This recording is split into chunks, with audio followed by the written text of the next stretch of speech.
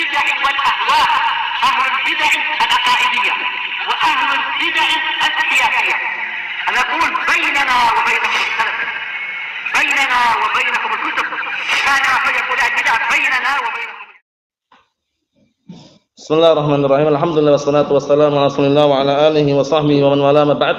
Kita lanjutkan bacaan terhadap kitab Syarah Lumatul Iqtiqad yang syarah Syekh Shalal Fauzan Allah Qala al-Imam Ibnu Qudamah rahimahullah bagian atas itu masih mengenai kandungan Al-Qur'an halaman 111 bagian atas fihi muhkamun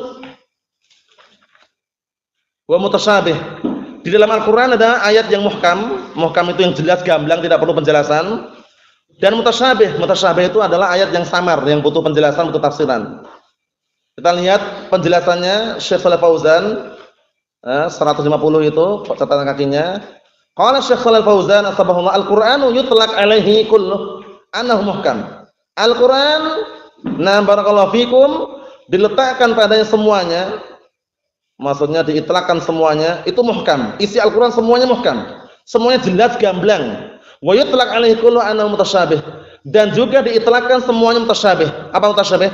Saling saling serupa satu dengan yang lainnya.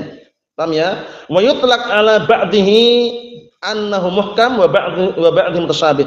Dan juga diitlakkan sebagian itu muhkam, sebagian mutasyabih. Sebagian jelas gamblang, sebagian samar menurut sebagian orang. Seperti kita yang bukan ahli tafsir, kadang baca Al-Qur'an ada enggak yang samar? Ada, tapi ahli tafsir tahu warasikhuna fil ilmi an itu. Orang-orang yang mendalam ilmunya tahu. Naam. Wa likulli qismin ma'nan khas dan masing-masing pembagian memiliki makna yang khusus.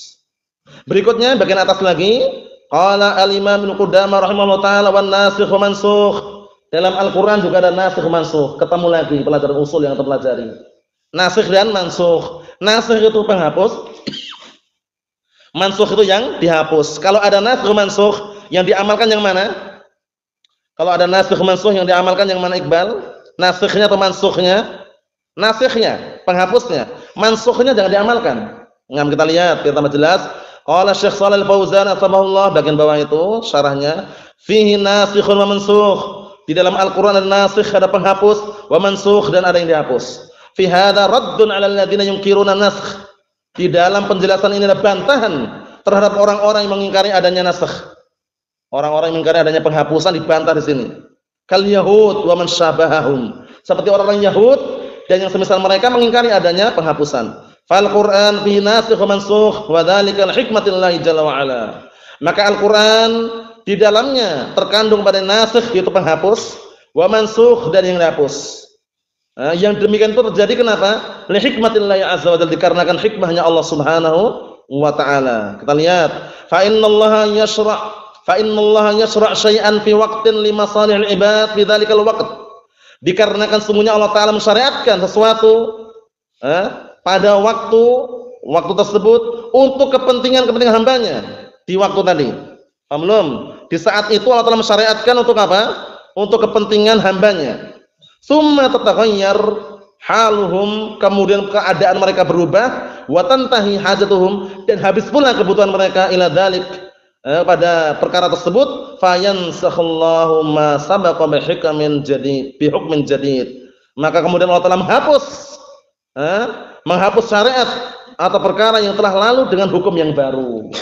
Apa contohnya barakallahu fik biar antum tambah jelas sebelum kita tutup. Contohnya apa? Contohnya dulu termasuk ayat yang ada dalam Al-Qur'an ayat mengenai radha'ah sepersusuan. Dulunya orang dikatakan anak sepersusuan kalau menyusu berapa kali? 10 kali sampai kenyang. Tapi ternyata dihapus dalam as-sunnah cukup lima kali nyusu sampai kenyang sudah dikatakan anak sepersusuan. Bayangkan menunjukkan bahwasanya dari yang berat menuju ke ringan. Awal mula itu 10 kali nyusu sampai kenyang baru dikatakan anak sepersusuan.